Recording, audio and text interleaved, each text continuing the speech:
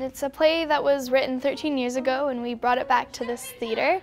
It's about these students who are in the theatre program but they don't exactly know what musical they're doing and all of a sudden they start singing these songs that they don't know about.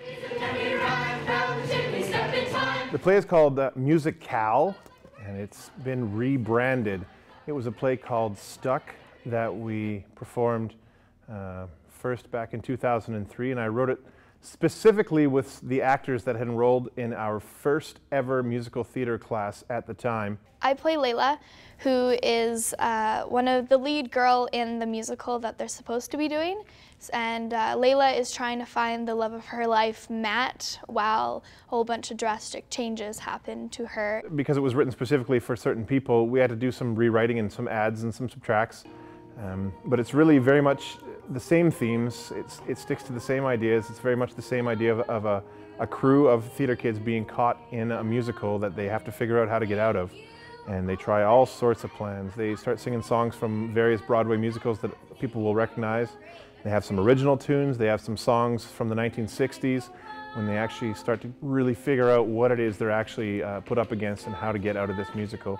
And of course, there's uh, teen angst on the way, and there's relationships, and there's um, all sorts of topics that we, we cram in there as you do in, in, uh, in high school. I am me.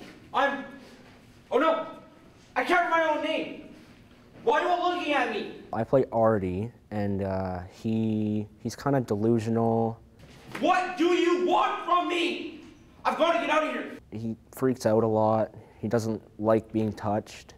He just he doesn't want to be there very much, uh, but he starts to fall in love with Gilda.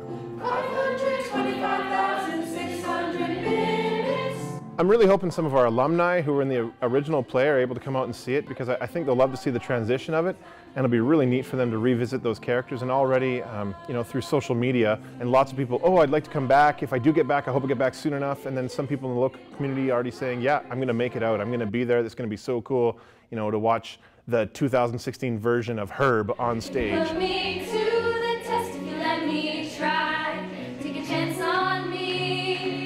We open on November 23rd. People can get tickets at lunch at the school, or you can phone the school for reservations, or you can email me and I'll hold tickets for you right at the door.